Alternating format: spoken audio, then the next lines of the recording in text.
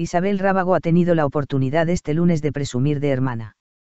La sección Fres de Ya es Mediodía se encontraba debatiendo sobre los cambios que vienen a cambiar el mundo de la moda y el trabajo de las modelos, sobre todo, en las sesiones fotográficas. Un ambiente que conoce muy bien, no solo porque en su currículum figura el título de Miss Cantabria, sino porque una de sus hermanas es modelo profesional. Se trata de Fátima Rábago, la menor de sus tres hermanos y de la que no puede estar más orgullosa.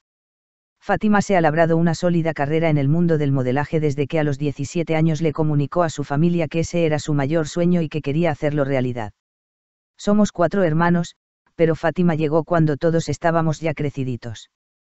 Y ella es como mi niña pequeña, porque cuando ella cumplió 17 años, dijo que ella no quería estudiar, quería dedicarse al mundo de la moda, explicaba recientemente la periodista precisamente fue ella quien le brindó su apoyo incondicional al principio de su carrera, trayéndosela a Madrid. Isabel ha contado que Fátima lleva desde los 18 años danzando por el mundo. La adoro. Es bella por fuera, pero por dentro es un amor, ha llegado a declarar orgullosísima. Fátima tiene fijada su residencia en Filipinas, donde vive con su marido y su hija Danda. Los tres conforman una preciosa familia en la que todos son modelos. Mi sobrina es una top model en Asia, ha afirmado Isabel. No en vano, posee casi 14.000 seguidores en Instagram.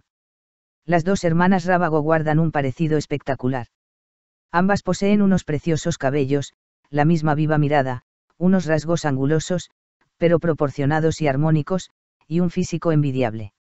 La belleza de Fátima es serena, sensual y con carácter, y ha convencido a marcas como la firma de novias Rosa Clara, para quien es imagen en Filipinas.